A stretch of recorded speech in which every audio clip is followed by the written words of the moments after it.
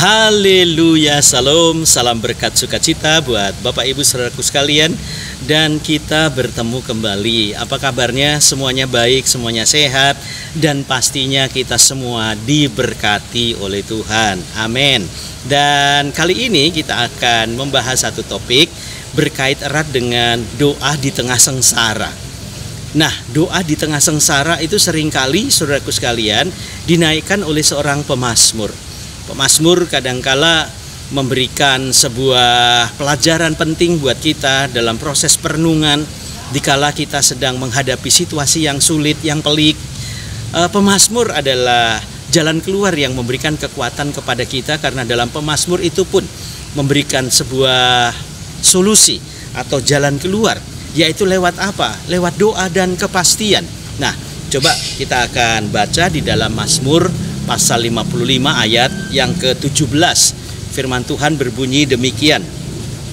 Waktu petang, pagi dan tengah hari aku cemas dan menangis dan ia mendengar suaraku. Lihat Saudara.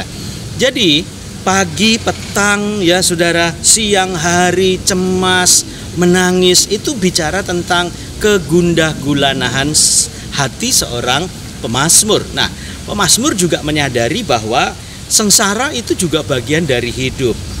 Tangisan itu juga bagian dari hidup. Kemudian hal-hal yang mungkin tidak mengenakan batin kita itu juga bagian dari sebuah kehidupan. Apalagi rasa cemas itu kadangkala sering melanda kehidupan manusia tanpa kita sadari. Dan ini menyakitkan memang.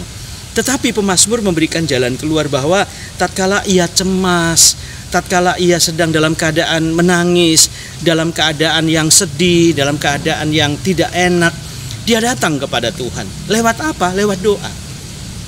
Jadi doa itu adalah pelajaran kepada kita, pelajaran penting buat kita bahwa itu adalah jalan keluarnya. Jalan keluar dari kesusahan itu ya berdoa. Karena pada saat kita berdoa kepada Tuhan, sebenarnya kita sedang mengungkapkan isi hati kita. Kita bicara, kita dialog dengan Tuhan. Bukankah Dia adalah Bapa kita, Dia Allah kita?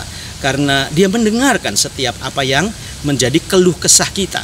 Dan pada saat kita datang kepada Tuhan, Tuhan juga melihat keadaan kita sehingga pada saat kita berdoa kepada Tuhan, Tuhan memberikan jalan keluarnya buat kita. Nah, yang kedua, Saudara, dengan berdoa kita akan mendapatkan sebuah ketenangan karena pada saat hati kita tenang, akhirnya tangisan kita terhenti. Sekalipun mungkin air mata kita masih mengalir, tetapi ketenangan batin itu adalah sebuah jawaban buat kita. Dan yang ketiga, melalui doa kita juga diajarkan oleh firman Tuhan bahwa kita masih punya pengharapan, kita masih punya Tuhan. Dan pada saat kita punya pengharapan, kita punya Tuhan, Berarti saudaraku sekalian, jalan kita, jalan kita, kita bisa lihat bersama siapa? Bersama Tuhan. Dan jalan kita kita bisa tapaki bersama siapa? Bersama juga dengan Tuhan. Jadi jangan takut, jangan khawatir, jangan gelisah karena kita masih punya Tuhan. Sukses buat saudara, maju terus dan Tuhan Yesus memberkati. Haleluya.